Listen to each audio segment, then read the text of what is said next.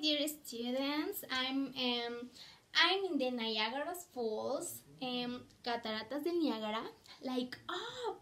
Okay, and let me check. Ah, really? But you have to continue with your activity. So open your book, please. Hi, dear students. This is the vocabulary of today. So practice and repeat after me, please.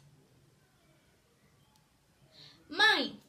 A mime is a person who acts all the time. So, but he doesn't talk. Take, take is a verb, and like take a shower. Take a shower.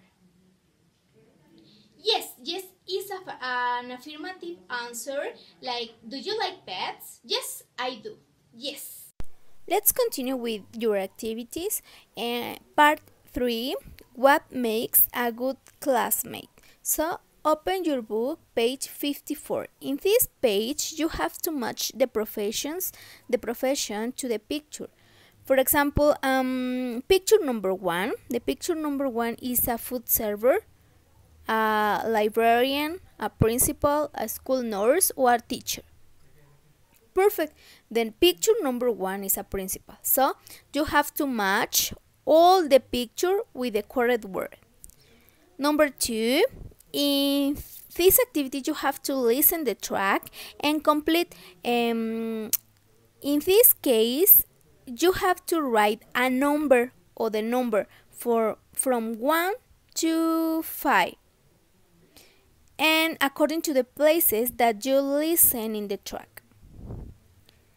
Number 3 here you have to listen the track again and complete the sentences uh, for example, the teacher works in the in the classroom, in the cafeteria, in the principal office. Where?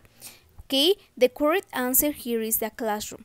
Number two, the food server works in the in the library, classroom, cafeteria. Where?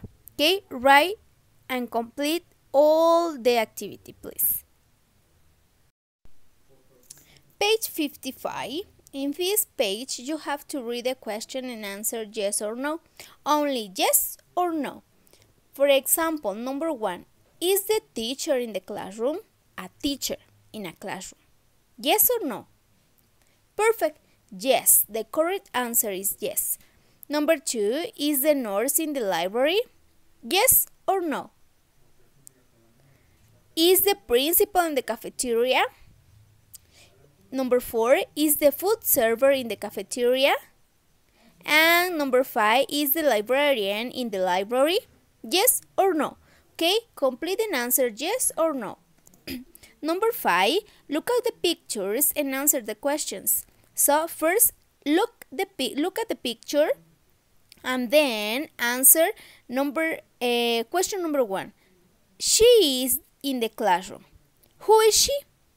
She is a a teacher because a teacher is in the classroom.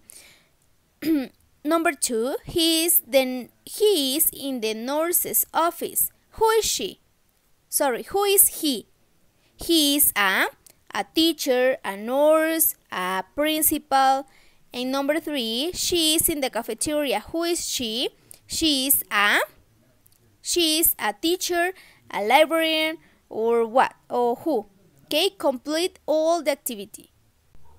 Finally, in the box, uh, write the name of a worker from your school. For example, you can write um, a, a nurse or a food server or a teacher. Okay, um, write the name of a worker from your school. Okay, teacher, um, food server, nurse, or a librarian, or something like that. Dear students, it's all for today and there is a lot of water. Okay, see you tomorrow. Bye.